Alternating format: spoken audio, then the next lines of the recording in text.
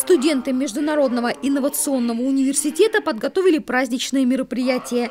Ветераны Великой Отечественной войны и преподаватели вуза стали главными зрителями театральной постановки под названием «Поклонимся великим тем годам». Наши мальчики головы подняли, повзрослели они до поры. То, что происходило на сцене, напоминало ветеранам о реальных событиях Великой Отечественной. Студенты рассказывали со сцены, как тяжело было солдатам в бою, как самоотверженно они боролись с фашистами. Эти рассказы в поэтической, музыкальной, танцевальной форме возвращали гостей вуза в далекие сороковые. Во время войны я работала уже девочкой в колхозе, конечно же. Мне было в то время 12 лет. Два брата и отца забрали почти в один день на фронт вернулся только один брат. Пожелать, чтобы такого они не знали, чтобы такого никогда больше не было.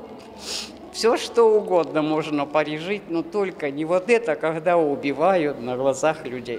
Теме Великой Отечественной войны в Международном инновационном университете уделяется большое внимание, как собственно и в целом в неурочной деятельности студентов. В нашем университете ведется активная патриотическая работа. А у нас есть журнал «Патриот. Наше время», где мы публикуем о героях нашего города для наших студентов. В нашем ВУЗе особую роль занимает патриотическое воспитание. Не так давно мы с Женей получили памятные медали за участие в масштабном конкурсе истории о великих подвигах солдат Великой Отечественной войны.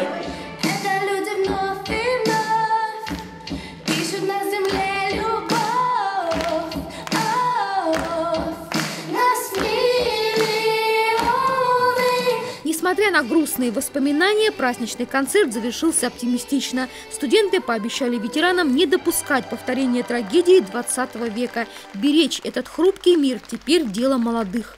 Елена Овсецина, Алексей Давыдов, телекомпания «ФКТ».